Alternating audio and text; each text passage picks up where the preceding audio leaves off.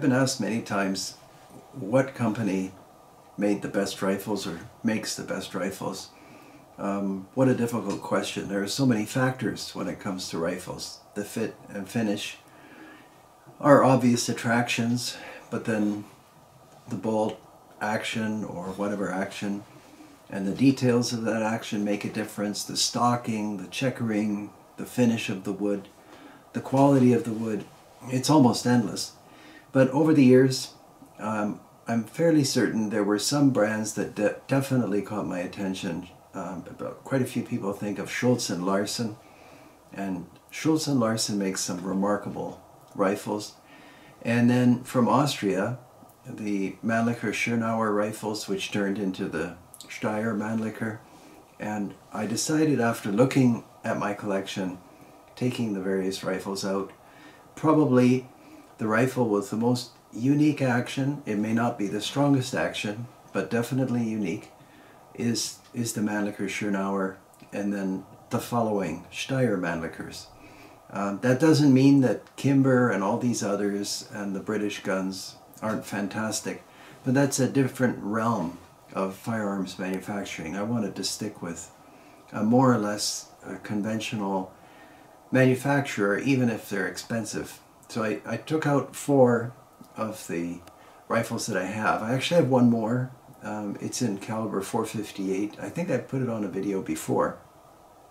But the ones that I have are representative of this lineage of rifles. And while I'm showing you the guns, you can keep an eye on the fit and finish of the steel components and the amount of care and, and workmanship that went into the stocking, the checkering, so that the, the result of, of all of the gun makers, the stockers, and, and the actioners and so forth, is, is sort of greater than the sum of the parts. And I'll start with the gun closest to me, which is a Mannlicher Schönauer. This is an 264 Winchester Magnum. And I, I think this was made in the 60s or 70s. Uh, modern cartridge 264 Win Mag. And you can see it has the split receiver in the back. So the bolt handle rides through through the back of the action. And aside from being a fantastically smooth action uh, to operate, it benefits from the rotary magazine. So you, you load rounds in here, and then when you want to unload, you simply push this button. And I should have taken out the, the base plate.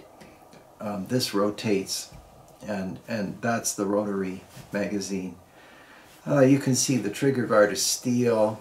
It's inletted into the wood, something like a fine shotgun. The checkering here is, it, it's not um, exhibition quality checkering, but it's serviceable, it's good. And in those days, everybody wanted white line spacers, so that's what they offered. Uh, the barrel and the the rifling are excellent. I fired this rifle, and they're, it's uh, as usual, uh, extremely accurate. Uh, the buttstock, some people might take exception to. It's kind of a uh, an Americanized version of the original Austrian Jaeger design, but I don't see anything wrong with the American style. This is here because it gets your cheek higher for scope use. The original came here, lower. You can imagine that. Everything else on the rifle is 100% reliable. It's, it's a, it, a, I was going to say it's a typical Mauser safety, but one could also say it's a typical Mannlicher Schönauer type safety. And uh, the split bridge makes scope mounting a little difficult, but not a big deal. You can see somebody has installed a, a side mount scope. So they made this for a long time. Um, I had 1903s and there were 6.5 by 54s uh, and not just the 1903 model. And then they broadened their line. Uh, but ultimately this became too expensive to manufacture and so they they started making a different gun and the other three guns on the table um, you can see kind of a relationship in the appearance of the guns uh, but this more modern version made by Steyr Mannlicher. Now, doesn't have a split bridge. In fact, these actions lock at the rear.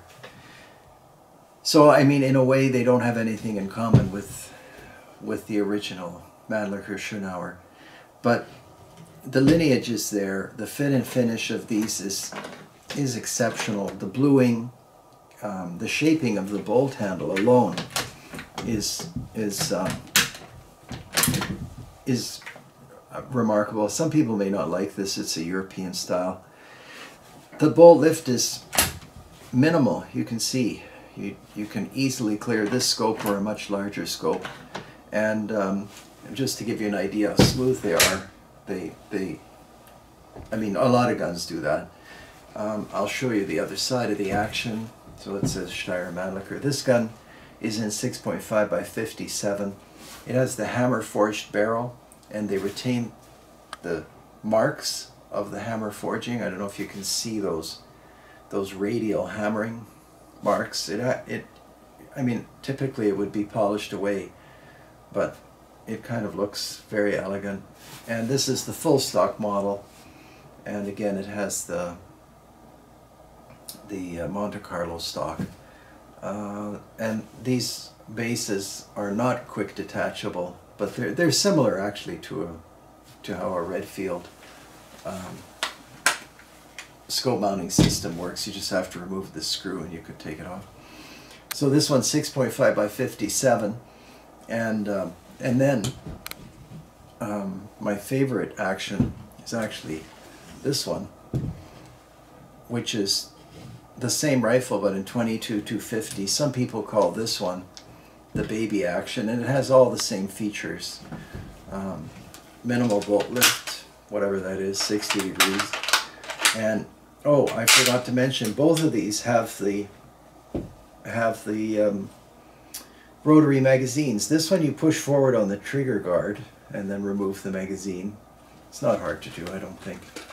It's maybe a little stiff I don't shoot these guns or use them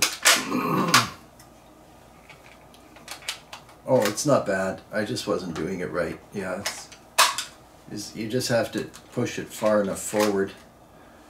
So that's well made. And this one came with a couple of magazines, double set triggers. And then um, same with this one, but the release on this model, you know, there are always little differences. It are, it's, it's on both sides. So you just squeeze here. Probably a better system than that one. And and it's a polymer but I've never seen one break or jam or anything like that. And it clicks in place. Double set triggers again. And you know, collectors will look at things like the shaping of the bolt handle, and yeah, they all close. Um, this this one is made for weight is lighter. This this rifle only weighs like five pounds, probably. Yeah, the full stock, hooded front sight, sling swivels, uh, basket weave, checkering, some people call it skip line. And then the last one that um, might be appealing to more people these days is what they call the the Luxus model, sort of luxury model. It has the same hammer forging marks. Um, this rifle is so um, so fancy. It's a it's a it's an amazing. Yeah, it's good. Now here we go. They got rid of the um, the rotary magazine and went to a, a single stack magazine. Looks like it holds maybe four rounds. This is in, um, I believe, seven millimeter Remington Magnum, and I don't know which I prefer. I always prefer a steel magazine, and this is steel. And rotary is nice for